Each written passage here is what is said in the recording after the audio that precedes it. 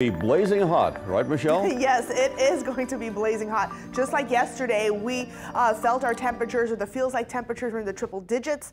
Once again, we're looking at another heat advisory, which will go into effect here shortly, meaning the heat indices may reach between 108 to 113 degrees. Now, this, uh, the heat advisory will be in effect for the entire area this time, and this includes our Mississippi counties. So again, make sure you're being careful while you're out and about. Live look outside, lots of sunshine to begin our Saturday morning. It's 81, feeling like the upper 80s right now. And look at the humidity, 91%. So it's so muggy out there to begin our morning.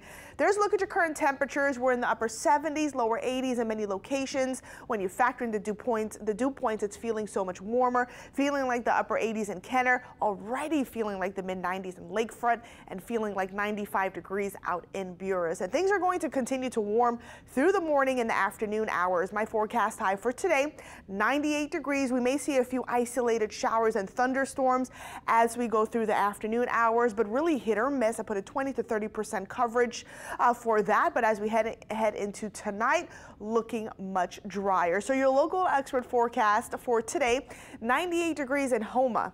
Thibodaux, 100 degrees in Picayune, and 97 degrees in Laplace. It is going to be a hot one today, and then as we take a look at the heat indices here, already feeling like the triple digits as we get closer to 10 o'clock this morning, and then it's going to continue to feel like the triple digits through the rest of the afternoon, leading into the early evening hours. So again, as temperatures continue to climb today and also tomorrow my forecast high 98 degrees we could potentially break a record today the record high for this time or for today rather. 96 degrees that was set back in 2011 I do think we'll break that today. And then tomorrow will be near record heat the record set back in 1990 of 99 degrees. So I do think we'll get up into the upper 90s both today and tomorrow and that's where we're supposed to be the lower 90s so just a few hot weather tips here if you're planning on being outside. Lots of things happening. Father's Day weekend, Juneteenth is tomorrow. Take frequent breaks if you're going to be outside.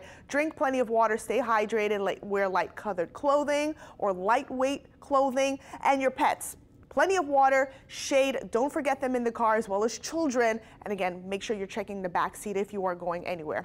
I do want to mention that there is a severe weather risk really for the North Shore, and this includes our Mississippi counties here where a few of the thunderstorms that develop across the area will have uh, the chance to uh, produce heavy rain because the atmosphere is so tropical. Uh, strong damaging winds again with those stronger uh, thunderstorms and then hail possible. And because of the marginal risk of level one, those thunderstorms, it will be isolated. So we'll begin to see clouds pop in and out through the morning. Uh, a few isolated showers here as we head into the afternoon hours. Look how hit, hit or miss they are. And then later on tonight, we may see a few stray showers under partly cloudy skies. And then as we head into tomorrow, we'll begin to see those clouds uh, move out of the area. And tomorrow's going to be a nice and sunny day. Here's the setup as we take a look at the water vapor imagery. This is way up in the atmosphere. Here's our ridge. That's going to expand as we head into the upcoming week. And it is going to be hot and humid.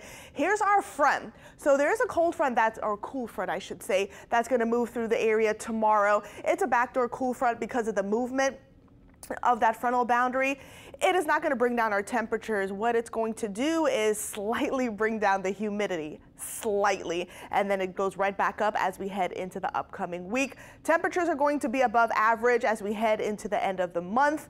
So keep that in mind for, and also the first day of summer is on Tuesday, so certainly going to feel like it. Real quick, what's going on in the tropics? Nothing. We're looking at a little disturbance near uh, Central America.